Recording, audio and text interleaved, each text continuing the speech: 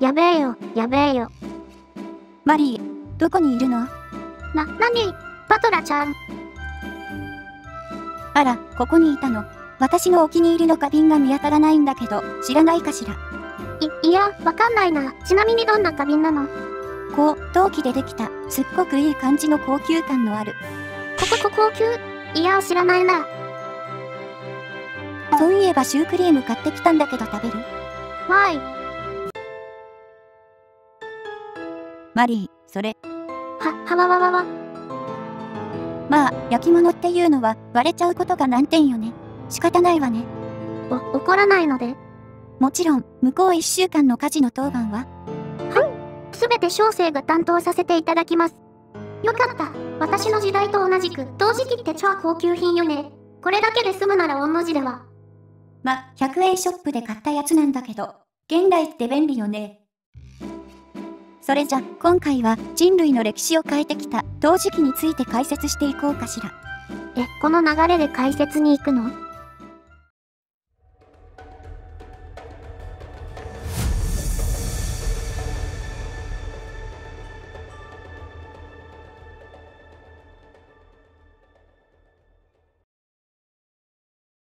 人類の歴史は、すなわち発明の歴史だったと言えるわ。火の使用、農耕、車輪、金属機。こうしたイノベーションとともに、文明は一歩ずつ進んできた。何かが発明されるたびに、世界は変わっていったんだね。しかし、あまりにありふれすぎて、その凄さが認識されていないものもあるわ。その一つが土器、それに続く陶磁器ね。土器こそが人類が初めて作り出した工業製品と言えるかもしれない。確かに、自然界にもともと存在するものじゃないしね。土器を作ることで、人々は生活に必要な水を貯蔵しておくことができるようになった。しかも、そこに木の実や穀物を入れて火にくべることで、煮炊きという調理技術も合わせて獲得したの。あ、そっか。土器がなければ、お米をご飯にすることもできなかったのかも。また、木材や石材の乏しい土地では、土器のレンガを積み重ねて家を作り、壁で囲むことで都市が生まれた。まさに、土器、焼き物こそが、文明と社会を作ることを可能にしたのよ。思えば、物を入れる容器にしても、建物を建てるレンガにしても、自由な形で、自由な大きさで作れて、火にかけても大丈夫な物質って、かなり画期的だったのかな。現在のところ、世界最古と見られている土器は、約3万年前のチェコのオーニャリック文化の遺跡から発掘された女神像。そしてより重要な容器としての最古の土器は、中国厚生省で発掘された2万年前のものとなっているわ。日本の青森県大台山本遺跡で出土した土器のかけらも約1万6500年前のものとのことで、これも世界最古の土器の一つね。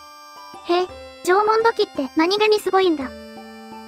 しかし、農耕や動物の家畜化が始まったのが約1万年前って話だから、それよりずっと前に土器が発明されていたんだね。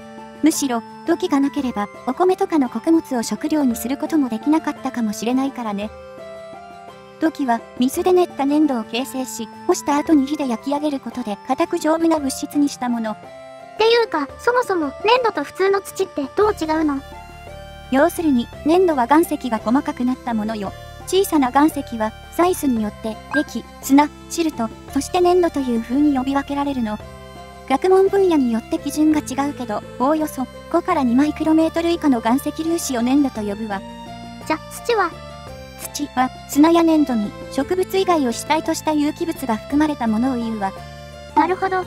砂漠には植物がないから、砂だらけで土がないってことなんだ。ただ、この土はあくまで学問分野によって定義されるもの。実際、陶芸などの世界では植物以外の含まれない粘土のことも単に土と呼んだりするから。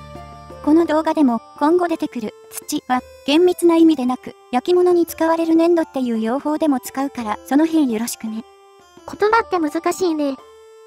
で、粒子の細かい粘土は水を含むと粘り気を持ち様々な形にすることができるわ。それを焼くと、粘土に含まれる鉱物成分の一部が溶け、粒子同士が溶接みたいに接着して固まり、土器ができるというわけ。はえー。土器は、もしかしたら人類初の科学体験でもあったのかな？だから、土器の品質は、元の岩石粒子に含まれている成分、熱して溶ける物質の種類や含有量によって変わってくるわ。ええ土とかは、それで決まるってことだ。土器は木材や骨や皮と違って環境によってもほとんど変質したりしないわ。これは長年使う器や建築材料にうってつけだった。そしてその性質は考古学による調査でまず土器が最大の情報源である理由ともなるわね。なるほど。有機物は地面の中で分解されちゃうけど土器だけは残るから遺跡の時代とかを判別するのに使われるんだ。土器がある一箇所で発明され、それが世界に伝播したのか、はたまた各地で別々に発明されたのかは不明だけど、粘土をこねて焼くというシンプルな製法であることを考えると、複数の起源を持つとしても不思議ではないわね。それこそ、いろんなものを火に放り込んでみようっていうのは、好奇心旺盛な子供とかでもやってみたりするしね。でも、何十万年も火を使いつつ変わらない生活をしていた人類が、突然2万年前を境に、各地で別々に土器を発明し始めたっていうのも変な話のような。学者の中には、中国で発明された土器が西へ伝播していったという説を支持する人もいるけど、どっちの説ももっともらしくて、私にはわかんないわね。ともかく、こうして世界各地で土器は作られ、利用された。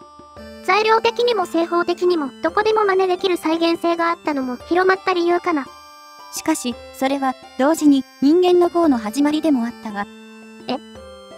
多くの人が集まった都市では、それだけ土器の需要が大きくなり、土器を作るためには、火、つまり燃料としての焚き木が大量に必要となる。都市は大河沿いに作られ、その上流域の森林は急激に伐採が進んだわ。そして高度な都市文明を誇ったメソポタミア文明やインダス文明は、どちらも現在は砂漠に埋もれた廃墟となっている。と、時が文明崩壊と関係が？それらの文明が滅んだ要因はいくつもの説があるけど、都市での消費のために川の上流域の森林の伐採が進み、保水力と土壌の支えを失った土地は大洪水を引き起こす。その洪水と流された土砂が都市や農地を飲み込んでいき、次第にそれらの土地は居住不能となっていったというのも要因の一つと考えられているわ。社会を発展させることになった活動が社会を滅ぼすことにもなるなんて、なんという皮肉。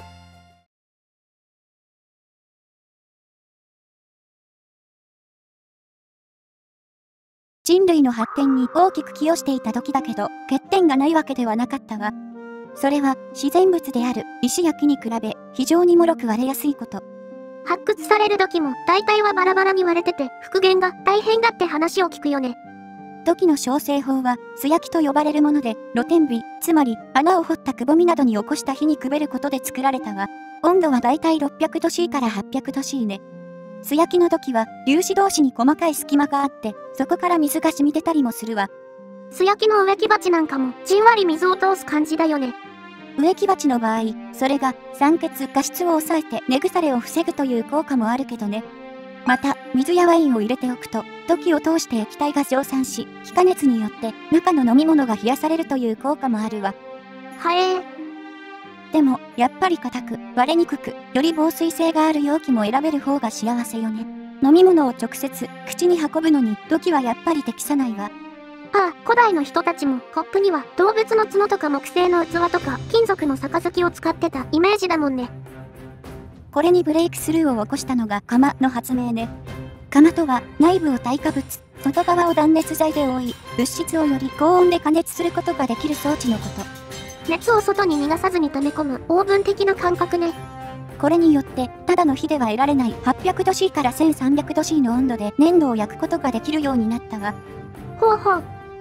なお、釜の発明は、鉄器の普及とも密接に関わっているわ。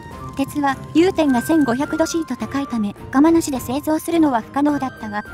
それプラス、炭素という存在が加わることで、社会はようやく鉄器時代を迎えることになるんだけど、それはまた別の機会に。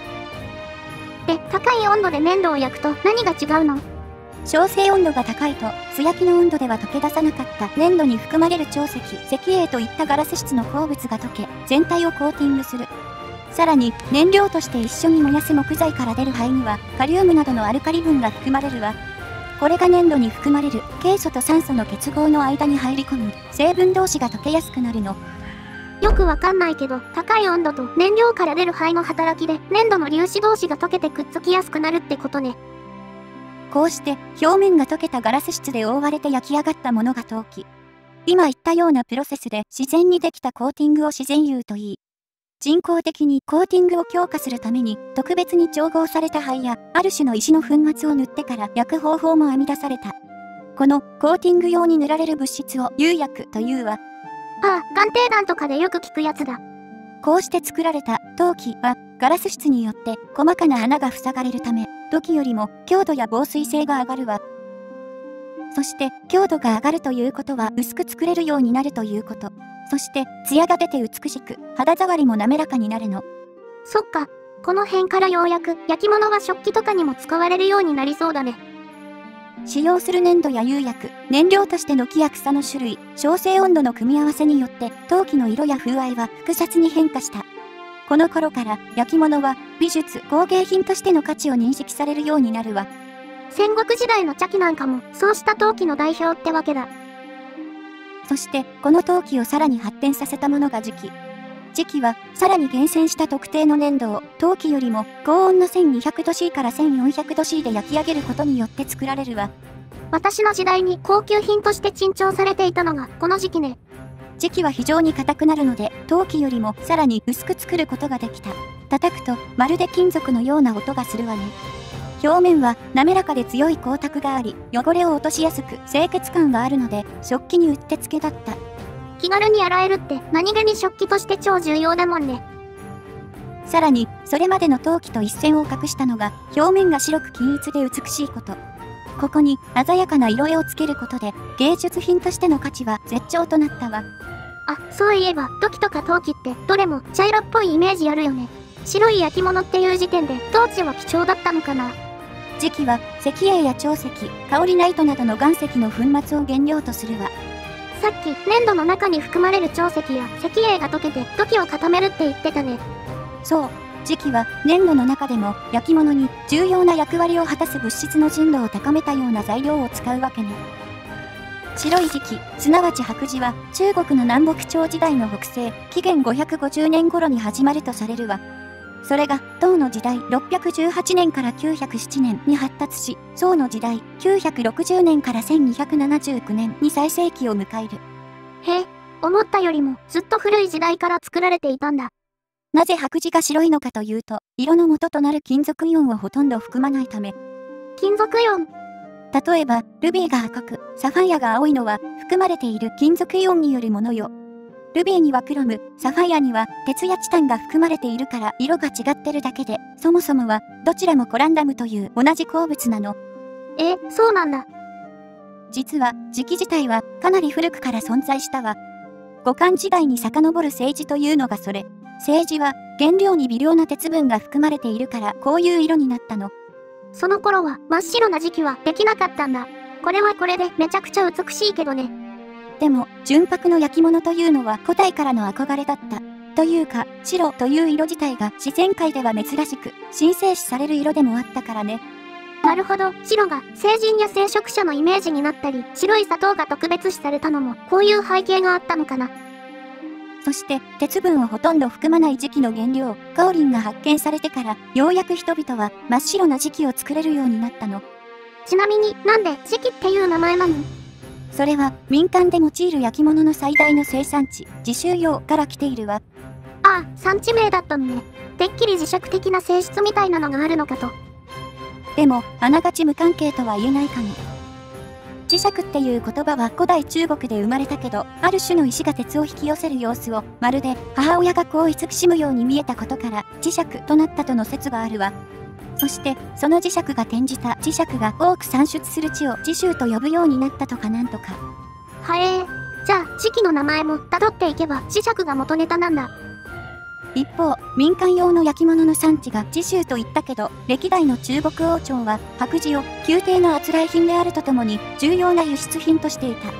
そして国家事業として焼き物の製造研究に取り組む官用が設置されるわ。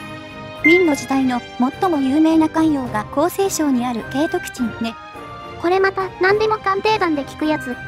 そしてこれらの陶磁器こそが中国の門外不出の特産品であり、お茶やシルクと並んで世界を動かす一大商品となるの。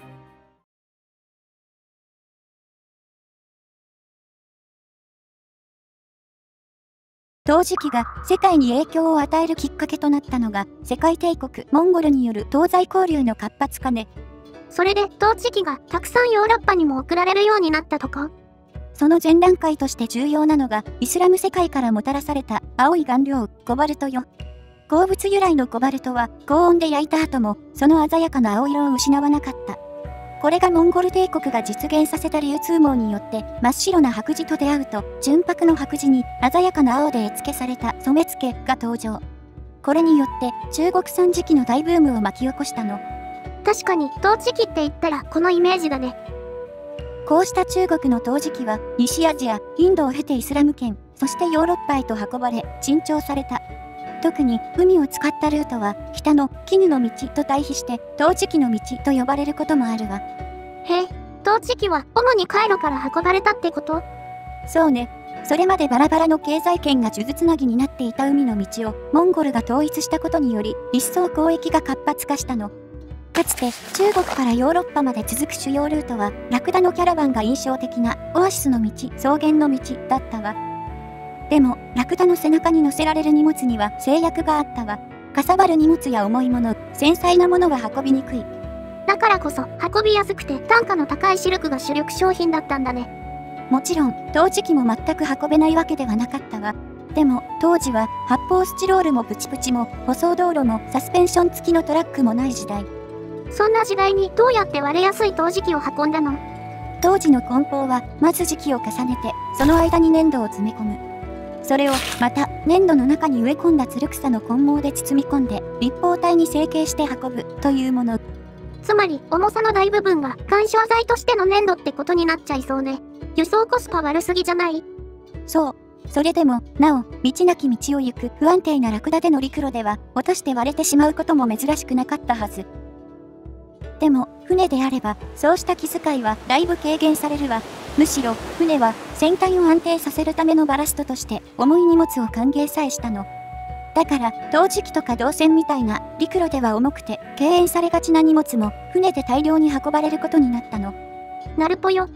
当時の中国の陶磁器や銅線は、なんとアフリカ東海岸のスワヒリ文化圏からも多数発見されているくらいよ。はえー、グローバル。そんなわけで、陶磁器という高級だけど重い商品の存在は、インド洋の通商ルートの開拓。それによって生まれる東西交流に少なからず影響を与えていたはずよ。中国の陶磁器はヨーロッパでもイスラム圏でも人気を博したわ。特にルネサンス期以降の西欧では神秘的な東洋への憧れとともに大人気商品となり大量の陶磁器が中国から輸入された。それこそ私の時代になっても陶磁器は王侯貴族同士の贈答品の定番だったくらいだもんね。現代英語でも大文字から始まるチャイナは中国のことだけど小文字から始まるチャイナは陶磁器を意味する単語となっているわ。ヨーロッパの王侯にとって東洋の磁器は自らの財力とセンスの良さをアピールするステータスシンボルだったものね。中国の磁器がもてはやされたのは日本の例外ではなかったわ。日本でも焼き物は盛んに作られたけど、それらはいずれも陶器だった。ああ、戦国時代の茶器も陶器ばっかりってイメージだね。しかし、ある出来事をきっかけに転機が訪れるわ。ある出来事？豊臣秀吉による朝鮮出兵よ。え、それと焼き物が関係あるの？秀吉の野望は失敗に終わったけど、この時、日本の軍勢は多数の朝鮮の投降を連れ帰っているわ。こうして日本にも磁器製造のノウハウが取り入れられたわけ。そのうち、肥前の国、有田では、磁器に最適な材料が発見され、この地は一気に磁器の名産地となるわ。伊万里焼、後の有田焼ね。おお、それらもなんか聞いたことあるね。その中でも、境田柿右衛門は、従来の染付に加えて赤く発色する釉薬を用いた赤絵のスタイルを確立。日本の磁器のスタンダードを生み出したわ。そっか、赤い色が入った焼き物が日本っぽく感じるのは、それがルーツなのかな。境田柿右衛門は、現代の15代目に至るまで、脈々と受け継がれているわ。そして、17世紀半ばに明王朝が滅び、その混乱の中で中国の磁器の生産量が激減すると、今度は日本の磁器もまたヨーロッパから大量に買い付けられることになるの。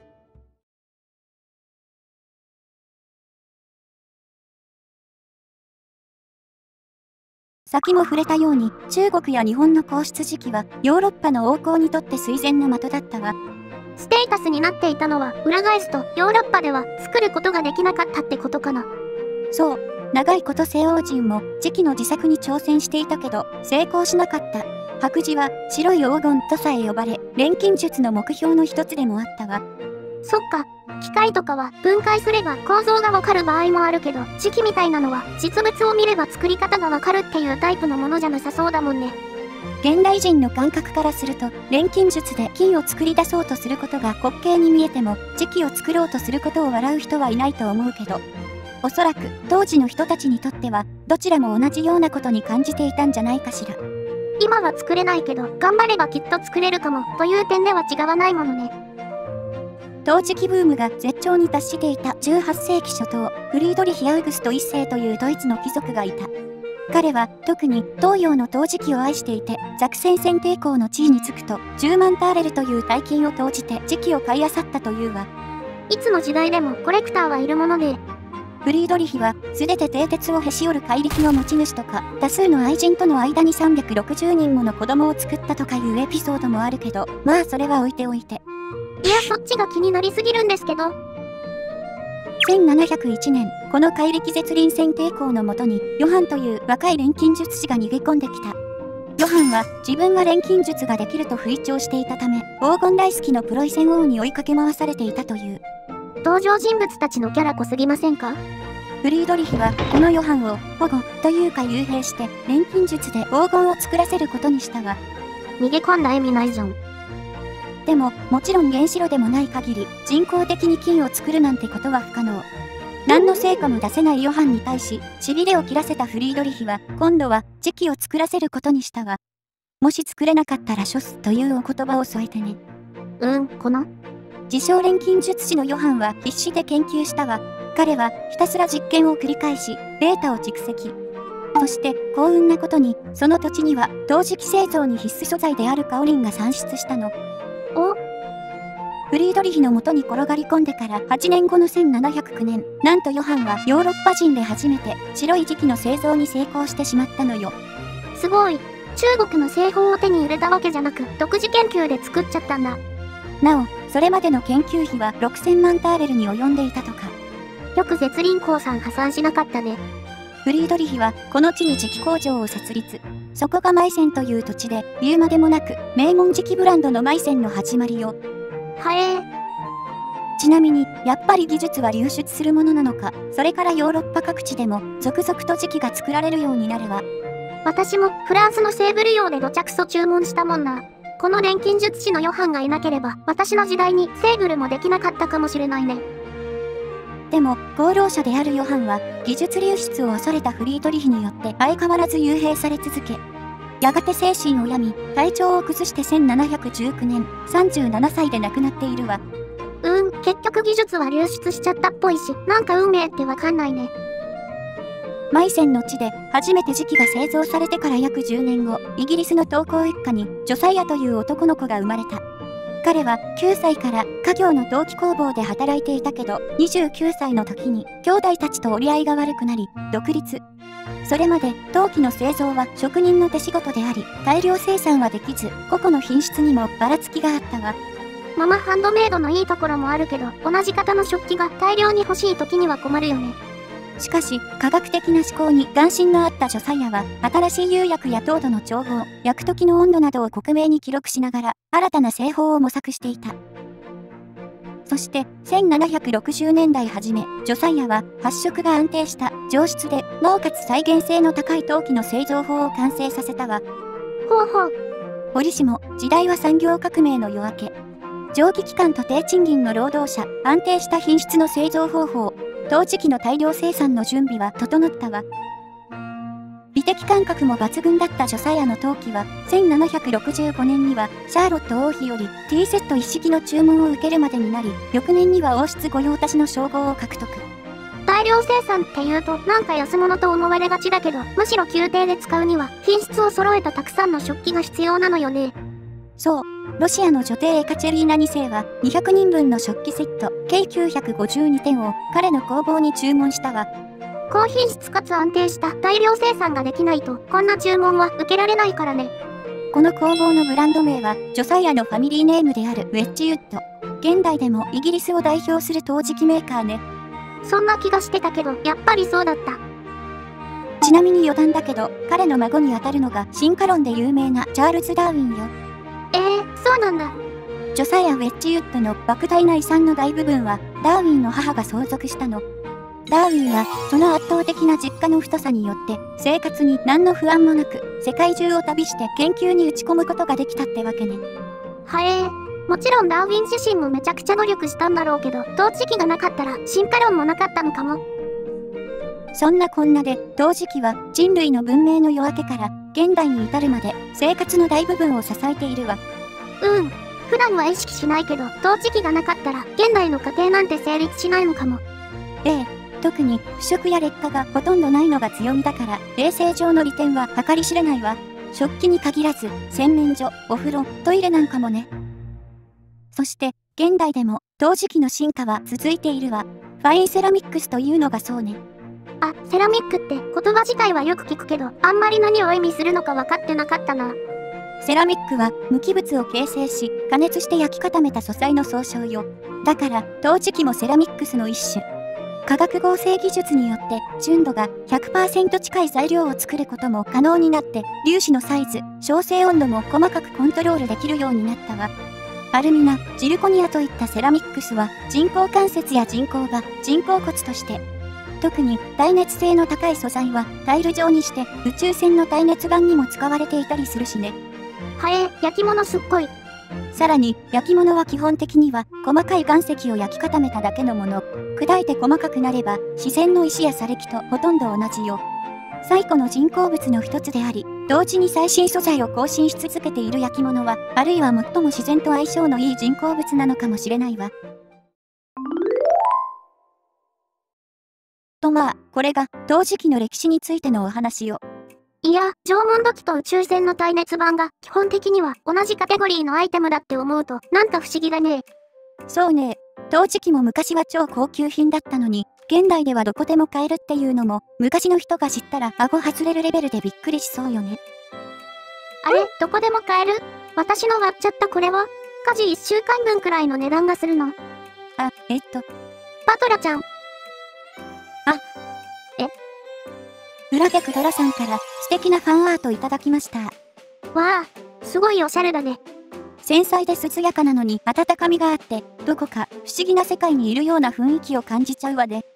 書き込みの細かさがまた世界観を引き立てているというか、プロフ見たら挿絵作家さんということで、なるほど納得って感じ。ファンアートをいただくこと自体もそうだけど、個性のある絵師さんを知ることができるだけでも嬉しいわね。眼福、眼福。というわけで、ご視聴ありがとうございました。また次の動画でお会いしましょう。バイバイ。